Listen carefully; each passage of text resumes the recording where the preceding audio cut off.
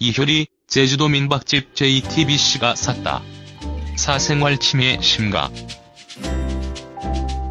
효린의 민박의 배경이 됐던 가수 이효리 이상순 부부의 제주도 집을 매입했다. JTBC는 14일 연합뉴스에 출연자 보호와 콘텐츠 브랜드 이미지 관리를 위해 이효리 이상순 부부와 합의하고 부지를 매입하게 됐다고 밝혔다.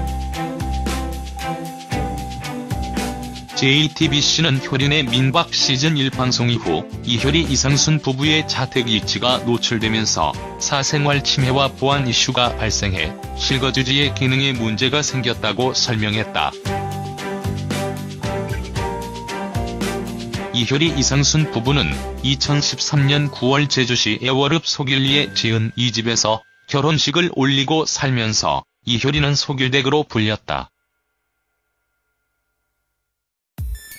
그러나 효린의 민박 시즌 1 방송 이후 찾아오는 관광객들로 인해 사생활 침해가 심각하자 이상순은 SNS에 고충을 토로하기도 했다.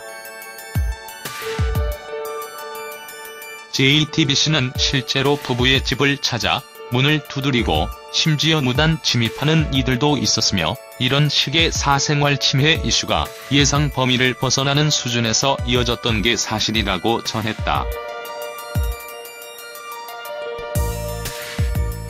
또 향후 제3자가 이 부지를 매입한다고 해도 역시 거주지로 활용하기는 쉽지 않으리라고 판단됐으며 혹타인에 의해 외부 공개 시설 등 상업적 목적으로 사용될 경우 효린의 민박이란 콘텐츠 이미지가 훼손될 가능성도 있어 우려하지 않을 수 없었다고 덧붙였다. JTBC는 그러면서 사생활 보호 목적에 의한 매입이므로 향후 이효리 이상순 부부의 새로운 주거지에 대한 지나친 관심은 자제해 주셨으면 한다며 이 부지와 집을 향후 어떻게 활용할 것인지는 이제 논의해 봐야 한다고 말했다.